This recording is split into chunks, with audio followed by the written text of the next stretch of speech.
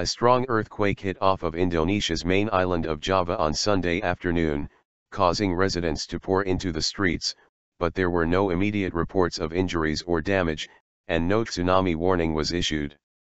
The U.S. Geological Survey said the magnitude 6.0 undersea quake was centered 93 kilometers, 58 miles, south of the East Java province town of Krajan Tambakrejo, at a depth of 59 kilometers, 37 miles.